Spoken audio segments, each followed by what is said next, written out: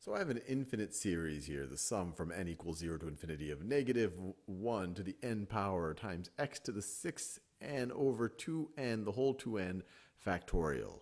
And my goal in this video is to evaluate this, this power series when x is equal to the cube root of pi over 2. And I encourage you to pause this video and give it a go on your own. And I will give you a hint. The key to this is to figure out, well, what function is this the power series for? And then use that function to evaluate this. And there's another clue here is that, hey, this, this is kind of a mysterious or suspicious looking number here, pi over 2, that looks like something I would use a, a, a trig function to evaluate. That, that might be a little bit more straightforward. So I'll, I'll let you have a go at it. So I'm assuming you have tried, so let's try to work through this together. And any of these types of problems, I like to at least expand out this power series so I get a better sense of what, it, what it's like. So this right over here, if I were to expand it out, this is going to be equal to, when n is 0, this is 1. Actually, this, all of these are 1, so it's just going to be 1. When n is 1, it's going to be negative 1 x to the 6th, x to the 6th over 2 factorial. When n is 2, it's going to be positive. Negative 1 squared is positive 1 times x to the 12th over 4 factorial. And then let's just do one more. When x is equal to 3, it's going to be negative x to the 18th, x to the 18th over 6 over 6 factorial. You just keep going on and on forever. Now, offhand, I don't know a function, especially a trigonometric function, because that was kind of our clue here. This pi over 2 makes me feel like I might this might be a trigonometric function right over here. Nothing jumps out at me offhand, but, but this does look suspiciously familiar. This looks awfully close to the power series or the Maclaurin series for cosine of x, which we have seen multiple times. Let's just remind ourselves what that is. And if this doesn't look familiar, the previous video where I do the Maclaurin series for cosine of x goes into detail on how I get this. The Maclaurin series for cosine of x is equal to, so I'll just write a few terms. So I'll write approximately equal to 1 minus x squared over 2 factorial plus x to the fourth plus x to the fourth over 4 factorial minus x to the sixth over 6 factorial. And just like that, you're probably seeing the similarities. Well, the first term's the same, the sign negative, positive, negative, positive, negative, positive, negative, positive, 2 factorial, 4 factorial, 6 factorial. The difference is uh, the, the powers, the exponents on the x's. This is x squared, this is x to the 6th, this is x to the 4th, that's x to the 12th. This is x to the 6th, that's x to the 18th. Well, what if we, what, I guess uh, some, something for you to think about is, well, how can we, can we replace x with something here? Because anything that I change, if I take cosine of, if I, if I change x to, I don't know, a plus b, everywhere we see an x, you would replace it with an a plus b. Can we put a power of x here so that these things end up like that? Well, this x to the sixth is the same thing. x to the sixth is the same thing as x to the third squared. That's x to the third squared. This right over here, x to the 12th, is the same thing as x to the third to the fourth power. This right over here is the same thing as x to the third to the sixth power. So if we could replace each of these x's with x to the thirds, we will get this power series up here. Well, how do we do that? Well, we would just say, well, it's the cosine of x to the third. And actually, let me do that in a different color. So the cosine, that's not a different color. So the cosine of x to the third is going to be equal to, and once again, everywhere we see an x, we replace it with x to the third. So it's 1 minus, and actually I'm just going to put in parentheses squared, 2 factorial. I wanted to do that in the green. Let me do all of this in the green. All right, so it's going to be equal to 1 minus parentheses squared over 2 factorial plus parentheses to the fourth power over 4 factorial minus parentheses to the sixth power over 6 factorial. And now let me get changed back to that mauve color. And since I'm taking the cosine of x to the third, well, this is going to be x to the third squared. This is going to be x to the third to the fourth power. This is going to be x to the third to the sixth power, which is exactly what I have right over here. So this right over here is the power series for cosine of x to the third. So evaluating this when x is equal to the cube root of pi over 2 is the same thing as evaluating this when x is equal to the cube root of pi over 2. Let me write that down because this is interesting.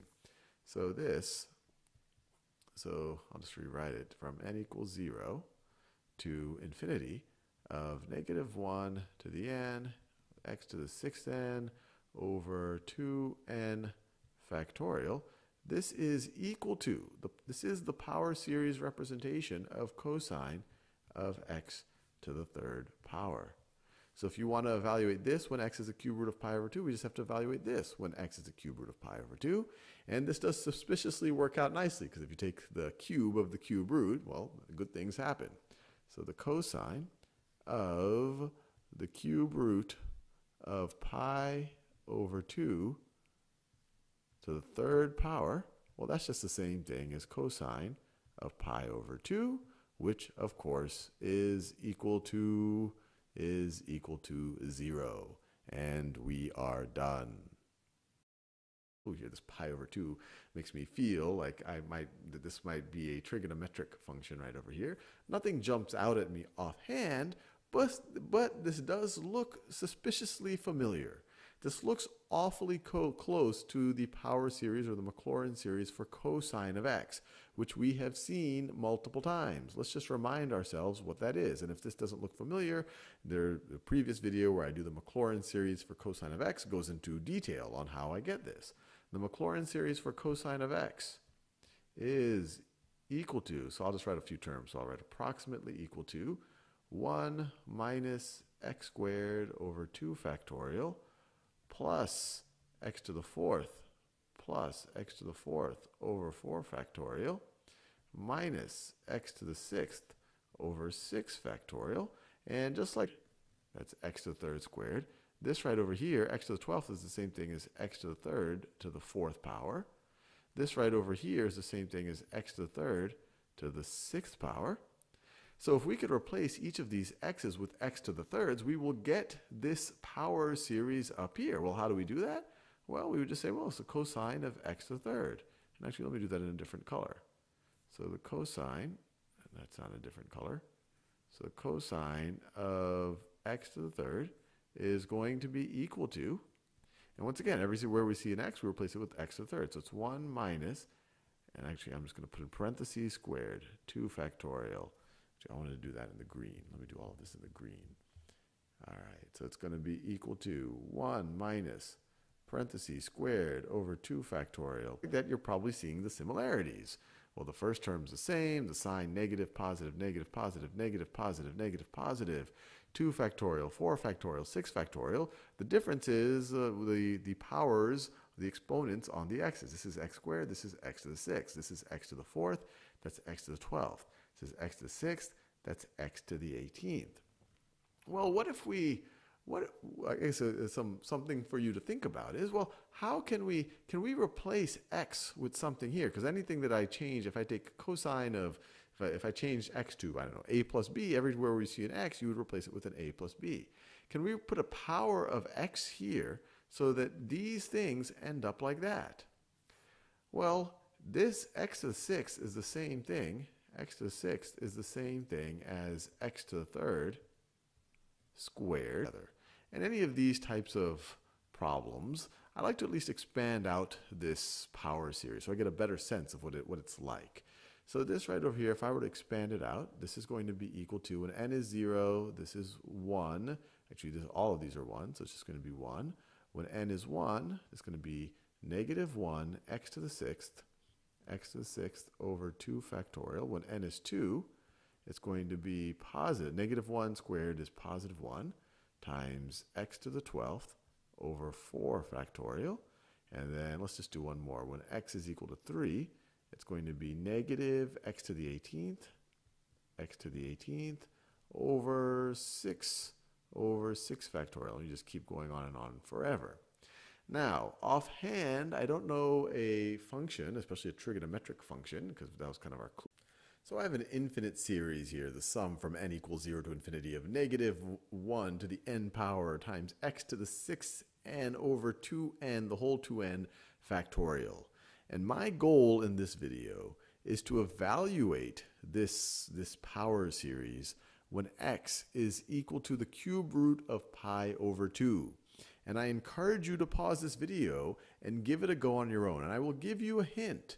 The key to this is to figure out, well, what function is this the power series for? And then use that function to evaluate this. And there's another clue here is that, hey, this, this is kind of a mysterious or suspicious looking number here, pi over 2, that looks like something I would use a, a, a trig function to evaluate. That, that might be a little bit more straightforward. So I'll, I'll let you have a go at it.